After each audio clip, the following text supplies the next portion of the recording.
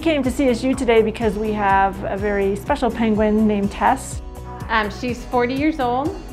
She is the oldest African penguin in captivity currently. She is a record holder for a female. No female's ever made it to 40 before. Tess came in um, for a cancer that has been on her face. Here's the gorgeous girl. I'm Haley, I'm the senior student. We chose to come up to CSU because they are the closest ones to us with the capability of doing radiation therapy for animals. Plan-wise, we wanted to get a better image of the tumor site. So we wanted to make sure that there weren't there wasn't spread to other areas. It's measuring at about one by one centimeters. We then moved to radiation therapy where she was treated focally for the disease um, in front of her eye. Everything in a penguin is an unusual treatment. Certainly we have never done radiation on any of our zoo animals that I know of. We were able to, to treat with her getting the radiation therapy um, and then she made a very easy recovery.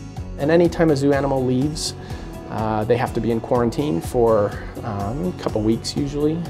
And then when she's out of quarantine, she'll be reintroduced into her exhibit. Hey, you guys!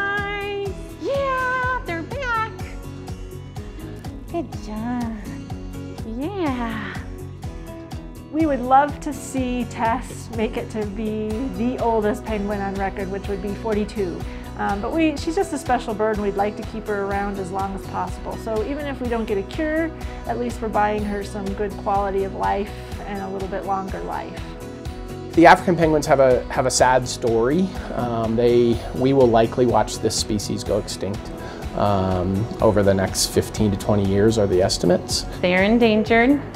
They're on a species survival program for them. I think there's hope that by propagating the species in captivity, we can eventually help the wild species recover. And if we can maintain a healthy genetic population in captivity, um, eventually, if we can get the planet back to a healthy state, they could be re-released. If we can make people aware, with awareness comes action, and with action comes change, and then ultimately we help.